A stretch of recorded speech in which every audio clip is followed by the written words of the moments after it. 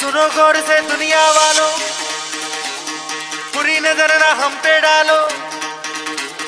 सुनो गौर से दुनिया वालों, बुरी नज़र ना हम पे डालो। चाहे जितना ज़ोर लगा लो, सबसे आगे होंगे।